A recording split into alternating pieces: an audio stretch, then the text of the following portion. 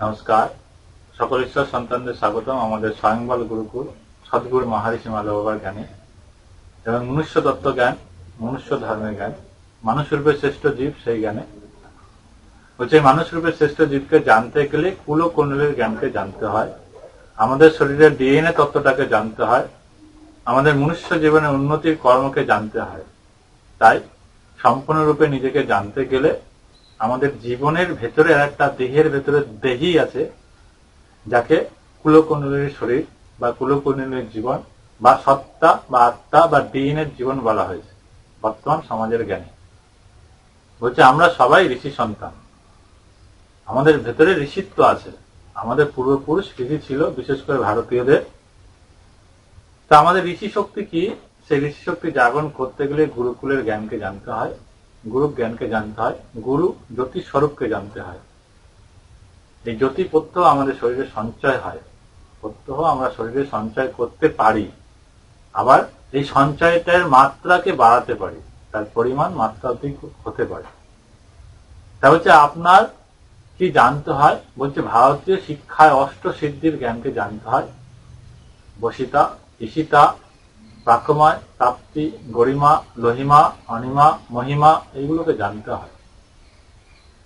এগুলোকে জানতে গেলে কীভাবে করবেন? বলছে, প্রত্যেকটা মানব জীবনের একই রকম ক্রিয়া আছে, সমান ক্রিয়া। আমি যে ক্রিয়াগুলো করি, আপনিও সেই ক্রিয়াগুলো করেন। আপনি যে ক্রিয়াগুলো করেন, আমিও সেই ক্রিয়াগুলো করি। আপনার প্রতিবেশী পরিজন যারা আছে, তারাও সেই ক্রিয়াগুলো করে। না হলে সে থাকতে পারে না। সেই ক্রিয়াগুলো কি? বলছে, সে খায়, সে ঘুমায়, সে প্রজন্ম রক্ষা করে, আর একটি হলো ঈশ্বরের স্মরণ করে। প্রত্যেকটা জীবের এই চারটে ধর্ম। এই চারটে ধর্মের ঊর্ধ্বে আরেকটি কর্ম, সেটা হচ্ছে চিত্ত শুদ্ধির কর্ম, চৈতন্য সত্তার কর্ম। আমাদের মনের শুদ্ধি আকাশ তত্ত্বের জ্ঞানের কর্ম। আমাদের মুক্তির পথের কর্ম। বলছে, আমাদের শরীরে আপনারা সবাই জানেন শরীর তত্ত্ব যাকে দেহতত্ত্ব বলে মনের তত্ত্ব, মানসিক কর্ম বলে, আর একটা আত্মাধিক কর্ম, বা অধ্যাত্ম কথা বলা হয়। আধ্যাত্মের পথে আসতে গেলে সত্তাকে জানতে হয় স্ব আত্মা কি? এই আত্মা জ্যোতিষ স্বরূপ, এই জ্যোতিষ স্বরূপকে জানতে হয়, যাকে গুরু অনেক সময় বলা হয়েছে। তাকে জানতে গেলে কুলকুণ্ডলীকে জানতে হয়। কুলকুণ্ডলী এখানে ছবি দেওয়া আছে, দেখুন, এটাকে মূলাধার বলে। তারপর আরেকটি ছবি, সেটা হচ্ছে সদিষ্ঠান বলে। তারপর আরেকটা ছবি মণিপুরের ছবি, তারপর বলছে অনাহত বা হৃদয় চক্রের ছবি, তারপর বিশুদ্ধি চক্রের ছবি, তারপর আজ্ঞা চক্রের ছবি, তারপর সহস্রার ছবি। এই অস্থি চক্র আমাদের শরীরের জ্ঞানে। তারপর সাতাশটি চক্র আরও সূক্ষ্ম অংশের জ্ঞানে, আগের দিন বলা হয়েছিল। তারপর একশো চোদ্দটি চক্র আমাদের শরীরে, যার চোদ্দ ভুবন বাইরে। এবং একশোটি আমাদের ভেতরে। একে জানতে গেলে গতি কীভাবে জানব? তো মূলাধার চক্র প্রথম জ্ঞান। হচ্ছে মূলাধার চক্র যদি অ্যাক্টিভ হয় কি হবে? যদি সচল হয় কি হবে? আপনি একজন মানুষের সঙ্গে কথা বলবেন, সে আপনার কথা শুনবে। এই মানুষটা কি করতে আপনার কাছে এসেছে, সেই মানুষটাকে আপনি আগে থেকে বুঝে যাবেন, দেখে তার ভাব, তার প্রকাশ পাবেন। এই মানুষটি ভালো না খারাপ, সেই প্রকাশটাও আপনি পাবেন। আমার সন্তান বা আমার ছেলে মেয়ে বা আমার মাতা পিতা বা আমার পরিবার পরিজন, তাদের স্বভাব চরিত্র কেমন? এই ভাবটা আপনি আগে থেকে পেয়ে যাবেন সেই যখন আপনার সামনে সাড়ে তিন হাতের মধ্যে থাকবে। বা মনের ঘরেও কিছু কর্ম আছে, সেই কর্মকেও জেনে যাবে। স্বপ্নের মধ্যে সেই দৃষ্টি, যাকে ঈশ্বর দৃষ্টি বলা হয় বা ঠাকুর পাওয়া বলা হয় বা ভর পাওয়া বলা হয়, অনেকে বলে। তো সেই বিষয়গুলো আপনার শরীরের ভেতরে আসবে। মূলাধার চক্র অ্যাক্টিভ হবে। বলছে এটা কীভাবে অ্যাক্টিভ করা যায়, কীভাবে সচল করা যায়। বলছে, এই ক্রিয়াটা জানতে হবে শরীরের ক্রিয়া। শরীরের ক্রিয়া কি? বলছে, আমার কাছে যে ক্রিয়াটা চলছে, আপনার কাছে চলছে। সেটা কি? বলুন দেখি। বলছে, সেটা জন্ম থেকে শুরু করে মৃত্যু পর্যন্ত চলে। সেটা কি? বলুন দেখি। বলছে, তার গতি কি? আমার কাছেও সমান, আপনার কাছেও সমান। ব্রহ্মাণ্ডের জ্ঞানেও সমান। সেই গতি কি? সেই বস্তুটা কি? বলছে, এই প্রাণ। বলছে, প্রাণের দ্বারা আমাদের শরীরের প্রত্যেকটা ক্রিয়া সচল হয়ে বসে আছে। প্রাণবায়ুর দ্বারাই শরীরের প্রত্যেকটা ক্রিয়া সচল হয়ে বসে আছে। যদি আরেকটু ব্রহ্মাণ্ডের জ্ঞানে যান, তাহলে শব্দজাত ক্রিয়া আমাদের শরীরকে শক্তি প্রদান করছে, শক্তি ক্ষয়ও করছে। তাহলে শব্দজাত ক্রিয়া যা শক্তি প্রদান করে, তা হচ্ছে মন্ত্র। শব্দজাত ক্রিয়া যা শরীরের ক্ষয় করে এনার্জির ক্ষয় করে, শক্তির ক্ষয় করে, তা হচ্ছে শব্দ বা কথা বা বাক্য। তাহলে এমন কর্ম করতে হবে যে মন্ত্র জপ করতে, যে মন্ত্রে আমাদের শক্তি সঞ্চয় হয়, সেই মন্ত্র জপ করলেই হয়। আবার বলছে প্রাণবায়ুর গতিটাকে, সেই গতিতে নিতে হয় যা সবার কাছে সমান, প্রকৃতির কাছে, ব্রহ্মাণ্ডের কাছেও সমান। তাহলে এখানে একটা ছবি দেওয়া আছে, এটা মোলাদার চক্রের ছবি, যেখানে চারটে পাপড়ি দেওয়া হয়েছে একটা চতুর্ভুজের কোণ, একটা ত্রিভুজ কোণ দেওয়া আছে। এগুলো কি? এর মাঝখানে দেখুন একটা লং লেখা আছে। তা এটা কি? বলছি লংটা হচ্ছে বীজ মন্ত্র তার পাশে চারটে পাপড়ির চারটে শব্দ দেওয়া আছে। স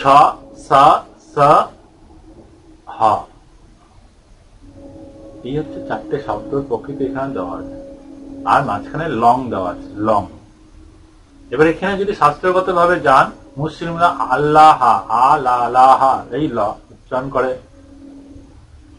বলছে, সেখানে ক্লিং মন্ত্র জপ, অনেকে করেছেন কৃষ্ণ মন্ত্র নিয়ে। সেই ক্লিং এর লটা আছে। এই মূলাধারের লংটা হচ্ছে বীজ মন্ত্র এই লং শব্দের সঙ্গে প্রকৃতিকে যুক্ত করতে হয়। যে প্রকৃতি আপনার মাতৃশক্তি আর পিতৃশক্তিকে সঞ্চয় করছে। তাই মালো বাবার জ্ঞানে ওং মালো বাবায় নম। এই মা আর বাবার শক্তি লং শব্দ দিয়ে যুক্ত করা হয়েছে। তাই যারা মালো বাবার কাছ থেকে দীক্ষা মন্ত্র নিয়েছেন, বা মন্ত্র তো জ্ঞানে চলেন মালো বাবা সদ্গুরুর জ্ঞানে চলেন, সদ্গুরু মহারিষি মালো বাবার জ্ঞানে চলেন, তাদের এই মন্ত্রটি জপ করেন। ॐ मालो बा ईं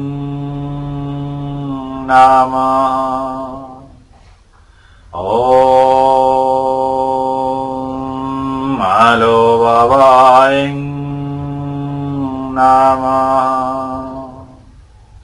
ॐ मालो बवा ईं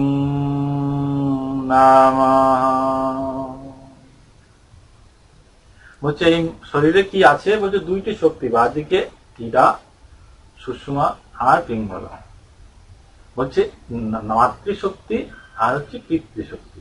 তাহলে এই দুই শক্তি, মাতা, মায়ের শক্তি আর বাবার শক্তি, এই দুই শক্তির মিলন যখন আমার মূলাধারে হয়, আমার বীজ তত্ত্ব জ্ঞানে বিষ্ণু তত্ত্ব জ্ঞানে বা আমাদের শক্তি তত্ত্ব জ্ঞানে তখন সেখানে একটি শক্তি সৃষ্টি হয়। সেটাই মূলাধারের জ্ঞান। মূল আধার তাই বলা হয়েছে। আমাদের মূল শক্তিটা ওখানে গিয়ে প্রথম পড়ে, তারপরে আমাদের সুষম কাণ্ড হয়ে তা ঊর্ধ্বমুখী হয়। ঊর্ধ্বমুখী গতিকে নিতে গেলে আমাদের শ্বাসবায়ুকে ধরতে হয়, প্রাণায়াম করতে হয়। রেচক পূরক আর কুম্ভক করতে হয়। আগের ভিডিওতে রেচক পূরক, কুম্ভক বলা হয়েছিল, আগে সৎসঙ্গেও বলা হয়েছে। তাই রেচক পূরক, কুম্ভক দেখুন, এই মন্ত্র জপ করলে প্রাণবায়ুটা ত্যাগ হয়। আর ত্যাগ হলে সম্মুখ শক্তি নিম্নগামী প্রথম হয়। তারপর তা ঊর্ধ্বগামী সুষমা কাণ্ড উপর দিকে উঠছে। দেখুন করে। ও মালো নাম। এই কুম্ভক হয়ে বসে গেছে মূলাধার আটকে আছে। মূল বন্ধ হয়ে বসে আছে। এটা পুরো কুম্ভক যারা করেছেন, তারা এই মূল বন্ধ সম্বন্ধে জানেন। মূল বন্ধ না হলে বলছে শক্তির অপচয় হয়, শক্তির ক্ষয় হয়। আর বিভিন্ন রোগেরও সৃষ্টি হয়, বিশেষ করে নিম্ন রোগগুলো যত আছে সেখানে। মূত্রদেশের সমস্যা পারিচিত সমস্যা জনিদেশের সমস্যা, নিম্ন অঙ্গের সমস্যা, হরমোনের সমস্যা, শরীরের ক্ষয়ের সমস্যা, পতনের সমস্যা, যৌন সমস্যা, এই অনেক সমস্যা নিম্ন অঙ্গে আছে। সেই অঙ্গ সমস্যাগুলোকে ঠিক করতে গেলে এই মন্ত্র জপ করতে হয়। আবার মাতৃশক্তি, পিতৃশক্তি সাধনের জন্য এই মন্ত্র জপ করতে হয়। আবার এই যে ছবিটা দেখছেন চারটে, এখানে, এই ছবির মধ্যে যে চারটে পাপড়ি আছে, তার চার লক্ষ জব যদি এই মন্ত্রে করতে পারেন, আপনার মূলাধার অ্যাক্টিভ হবে। চার লক্ষ জব যেদিন আপনার পূর্ণ হয় করতে একশত আটবার করে করতে হবে সাধারণভাবে, এর থেকে বেশি করতে পারেন। চার লক্ষ জব যখন আপনার পূর্ণ হবে, তখন আপনার মূলাধারের শক্তি জাগরণ হবে। আপনার মস্তিষ্কে, আপনি জেনে যাবেন, আপনার স্মৃতিতে কিছু না কিছু শক্তি আপনি পাবেন, স্বপ্ন দেশেও পাবেন।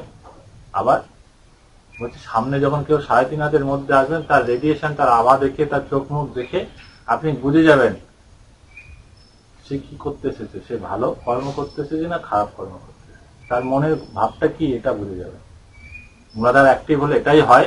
আর এটা করতে গেলে আপনাদের এই মন্ত্র চার লক্ষ বার জপ করতে হবে। অন্তত কমপক্ষে একশো আট বার করে প্রতিদিন। বেশি করতে পারেন, অসুবিধা কিন্তু কম করা যাবে না একশো আট বারের সংখ্যার থেকে। একশো আট বার আমাদের দেহতত্ত্বের জ্ঞান। দেহতত্ত্বে একশো আটটা পাপড়ি আছে, একশো আটটা পাপড়ি, একশো আটটা নাম আছে, অক্ষর ব্রহ্মের জ্ঞান। তাই একশো আট বার নাম করতে হবে, একশো আট বার একমালা জপ করতে হবে। কমপক্ষে একবার, একশো আট বার। যদি মূলাধার অ্যাক্টিভ করতে চান এই মন্ত্রটি, জপ করুন। এখানে চারটে পাপড়ি, মূলাধারের লং বীজ, মা লং বাবা। মা, ওং মা, ওং বাবায় নাম যদি বলি, যুক্তকে করতে গেলে ওং মালো বাবায় নম এটা হয়। তাহলে এটাকে করতে গেলে আপনাকে এই মন্ত্র জপ করতে হবে। জপ করে দেখুন। ওম মালো বাবায় নমঃ ওম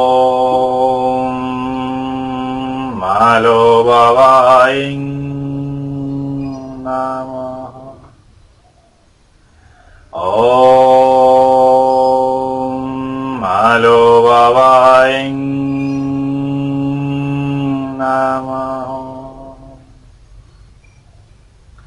এই মন্ত্র যারা জপ করে, তাদের সদ্গুরু দীক্ষা আগে নিতে হয়। কিছু শিক্ষার জ্ঞান আছে, সেই শিক্ষাটা নিতে হয়। তারপরে এই মন্ত্র জপ শুরু করতে আপনারা যারা ভিডিও দেখে জপ করবেন, তারা করতে পারেন, অসুবিধা নেই। কিন্তু আপনাদের সদ্গুরুর কাছ থেকে মন্ত্র নিতে হবে। এই মন্ত্রটি সদ্গুরুর কাছ থেকে নিলে কি হয়? বলছে, এখানে এক কোটি সঞ্চয় আছে। আপনারা যদি এক লাখ দিই, বা এক কোটি যদি আপনাকে দিই, তাহলে আপনার এক কোটি পাওয়া হয়ে গেল।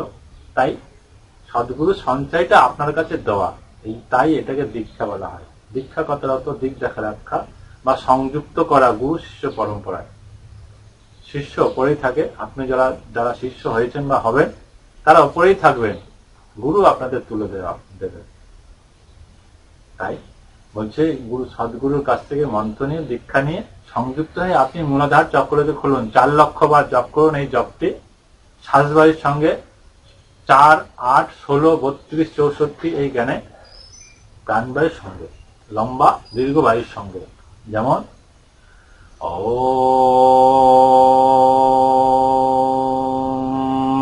আলো বাবাই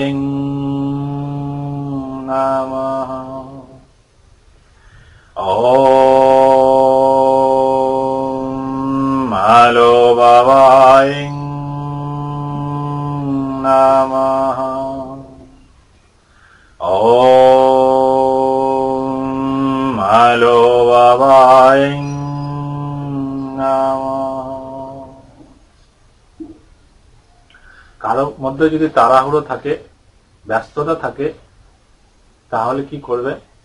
বলছে চার লক্ষ জব একদিনও করতে পারেন সেটা আপনার। চার লক্ষ জব একদিনে করার থেকে এই প্রাণবায়ুর সঙ্গে ষোলো সেকেন্ডে যদি করতে পারেন প্রত্যহ একশো বার করে যতদিনই আপনার চার লক্ষ জব পূর্ণ হবে, আপনি ক্যালকুলেটারে হিসাব করে দেখুন, এক বছরের মধ্যে। আপনার মূলাধার চক্র অ্যাক্টিভ হয়ে যাবে।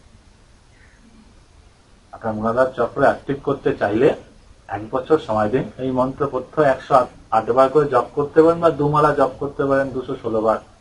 চার মালাও করতে পারেন চারশো বত্রিশ বার। আট মালাও করতে পারেন আটশো চৌষট্টি বার। বা ষোলো মালাও করতে পারেন সতেরোশো চব্বিশ বার। সতেরোশো চব্বিশ বার করে করে চার লক্ষ জপ করতে সময় লাগবে কত? তিন মাস, সাড়ে তিন মাস। তিন মাস আপনি করে দেখুন ষোলো মালা করে জপ, এই মন্ত্র। যারা এরকম মালা নেননি, তারা মালা নিয়ে এইভাবে জপ করবেন ষোলো মালা করে। তারা বুঝতে পারবেন যে মূলাধার চক্র আপনার অ্যাক্টিভ হয়েছে কিনা। আর যদি সদ্গুরুর জ্ঞান নিয়ে দীক্ষা বা মন্ত্র নিয়ে করেন, তাহলে আরও তাড়াতাড়ি হওয়ার সম্ভাবনা থাকে। তাই যারা এই কুলকুণ্ডের জ্ঞানে মূলাধার চক্রকে অ্যাক্টিভ করতে চান, এই ছবিটিকে একটু খেয়াল রাখবেন। পাশে দেওয়া আছে, ডান দিকে একটা লোগো হিসাবে ছবিটিকে ধ্যান করে এই মন্ত্র যদি জপ করেন, ওং মানবাবাই নম। প্রত্যহ একশত আটবার করে ষোলো সেকেন্ডের জ্ঞানে আপনার মূলাধার চক্র অ্যাক্টিভ হবে। হলে আপনার স্মৃতিশক্তি বৃদ্ধি হবে, আপনার বুদ্ধি বৃদ্ধি হবে। মানুষকে দেখে আপনি সৎ করে চিনতে পারবেন সে ভালো কর্ম করতে এসেছে না খারাপ কর্ম। ভালো চিন্তা নিয়ে এসেছে না সৎ চিন্তা না সৎ বুদ্ধি না অসৎ জ্ঞান, সেটা আপনি বুঝতে পারবেন। এই ভাবটাকে যদি আপনারা পেতে চান, মূলাধার চক্রকে খুলতে হয়, তাই মূলাধার চক্রকে অ্যাক্টিভ করুন। সদ্গুরুর জ্ঞানে, আমাদের স্বয়ংবল গুরুকুলের জ্ঞানে যদি আপনি করতে চান, তাহলে মূলাধার চক্রকে ধ্যান করে, এই যে বাদিকে যে যন্ত্রটা আছে, যন্ত্রটাকে দৃষ্টি রেখে এই মন্ত্রটি জপ। ও আলো বাবায় নমঃ ও আলো বাবায় নমঃ ও আলো বাবায়